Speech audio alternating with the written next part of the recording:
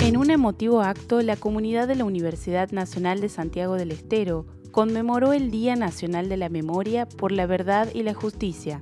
Se hizo la bandera argentina en el patio central con la presencia de abanderadas y escoltas de la UNCE, rindiendo homenaje a los valores de memoria y justicia. Las reflexiones de Yamila López Real y Martín Agüero marcaron el evento, destacando la labor del área de derechos humanos y la Cátedra Libre de Derechos Humanos de la Facultad de Humanidades.